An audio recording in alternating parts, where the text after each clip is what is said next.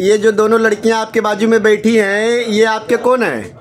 लड़की है। लड़की है। हाँ। तो अभी आपने जो मतलब ज़मीन देने का फैसला किया है इधर जो आपका गाला है हाँ। तो ये इन दोनों के नाम पे किए बराबर बराबर का?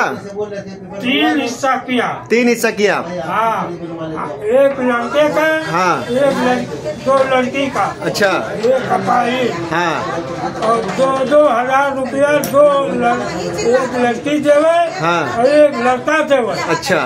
मतलब आपने किसी के दबाव में आकर ऐसा तो नहीं कर रहे ना? ना के दबाव में मुल्क का मत लो। अच्छा। अब्बा छोड़ दे। अच्छा। भाई कहे तो हम लोग मना कर दिया कि गाँव का जायदाद हम लोग नहीं लेंगे। अच्छा। उसके पास भी तीन लड़के हैं। अच्छा। हम लोग इधर का हिस्सा तो लेंगे अच्छा। मगर गाँव में नहीं लेंगे उसके भी तीन अच्छा आपने उनके लड़कों को देख के मुँह देख के छोड़ दिया करके गाँव में नहीं चाहिए? छोटू भाई भी मना किए अच्छा ये ये ये छोटू भाई है जो आपकी मतलब हेल्प कर रहे हैं। हाँ यही मना किया कि गाँव में हिस्सा तुम लोग नहीं लो इधरी के ले लो। अच्छा अच्छा।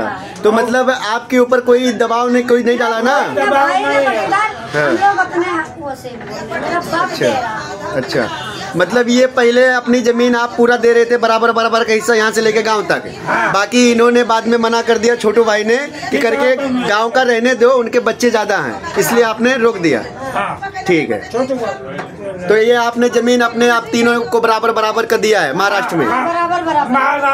एक बटा तीन दो लड़की एक लड़का। हाँ, बराबर का हिस्सा समझ नहीं रहा। और भाई आपका समझ नहीं रहा। भाई उल्टा समझ गया ठीक है। हमारे भाई पट्टीदार कर रहे हैं। ठीक है। दबाव डाले हमारे कोई ऊपर दबाव नहीं है। ठीक ठीक। हम लोग का दबाव किसी का नहीं है। दबाव किसी का दबाव नहीं है? छोटू डाला अच्छा। कि गाँव का हिस्सा मत लो। ये छो ये छोटू भाई ने आपके ऊपर दबाव डाला कि गाँव का ज़मीन मत ले हाँ। इन लोग को बहन लोग को मत दो हाँ। अच्छा अच्छा। ठीक है ठीक है।